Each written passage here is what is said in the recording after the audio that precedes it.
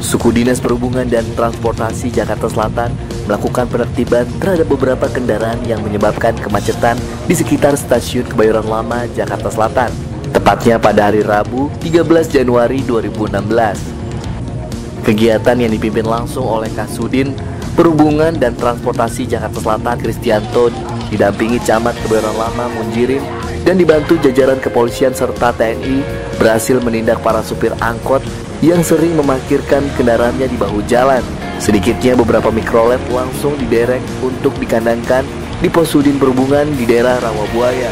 Tidak hanya itu, kericuan sempat terjadi akibat kesalahpahaman ketika petugas ingin melakukan penertiban secara persuasif kepada para tukang ojek yang diduga menjadi salah satu penyebab kemacetan di daerah tersebut.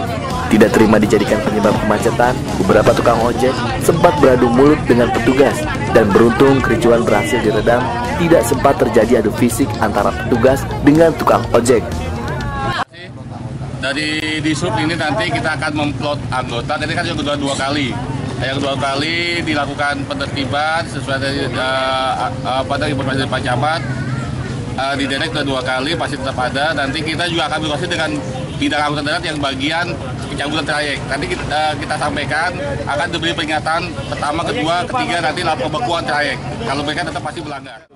Uh, jadi ini untuk di Jalan Masjid Al ini udah yang kedua kali. Sebenarnya kita berharap di 01 itu memang trayeknya nggak lewat sini dan dia sebenarnya harus mematuhi harus dari arah Ciputat Raya lurus ke Pasar Bayoran Lama.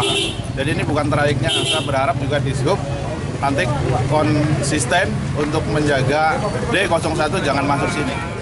Dari Kebayoran Lama, tim liputan Kominfo Mas Jakarta Selatan melaporkan.